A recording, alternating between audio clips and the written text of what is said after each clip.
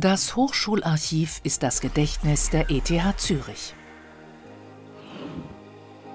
Es archiviert wichtige und wertvolle Dokumente wie Protokolle, Briefe, Manuskripte, Labor- und Tagebücher, Konstruktionszeichnungen, Beobachtungsdaten und auch moderne Medien wie Webseiten. Darunter befinden sich Originale von Nobelpreisträgern wie Albert Einstein, Wladimir Prelog und Richard Ernst,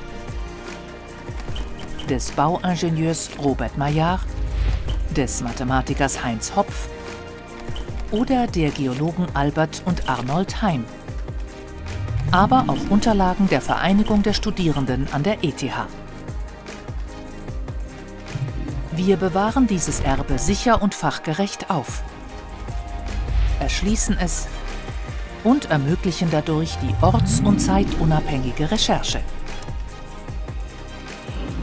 Konsultieren Sie digitalisierte historische Quellen zur Geschichte der ETH Zürich direkt online oder besuchen Sie uns an der ETH Bibliothek.